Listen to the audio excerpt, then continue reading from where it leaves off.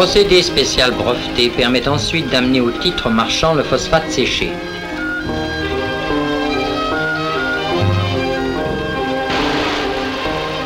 Arrivé dans l'usine, ces wagonnets se vident automatiquement dans les silos alimentant une batterie de six fours rotatifs.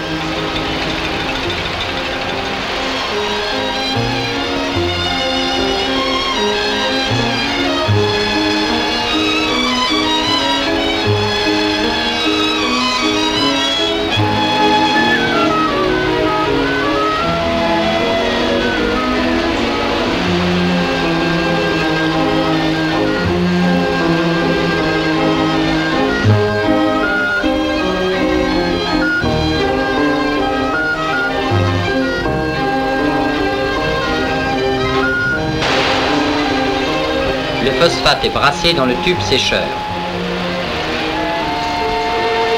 L'air chaud produit par les fours traverse les tubes tournants et vaporise l'eau contenue dans le minerai.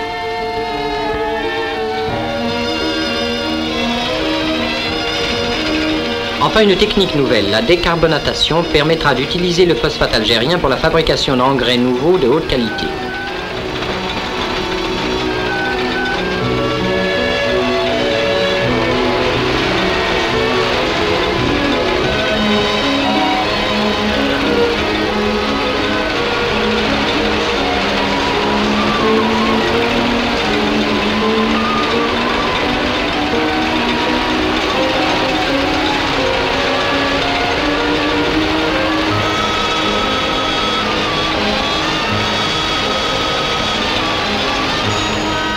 Pour les pays lointains de l'Union française, le phosphate est mis en sac.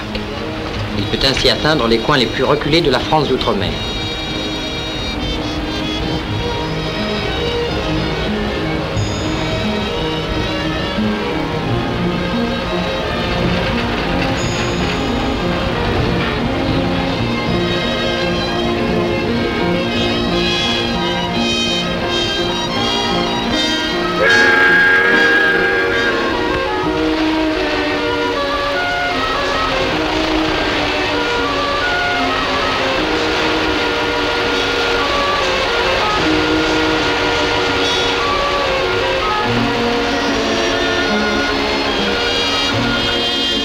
l'Europe, le phosphate est expédié en vrac.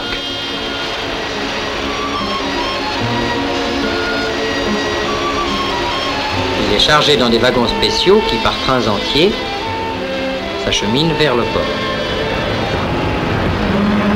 À Beaune, les bateaux sont chargés à la cadence de 800 tonnes à l'heure.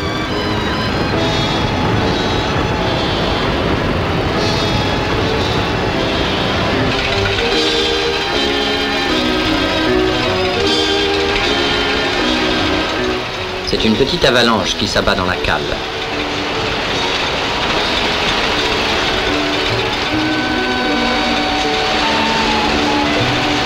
Bien vite, le bateau prend sa charge. Il s'enfonce. Prêt à partir.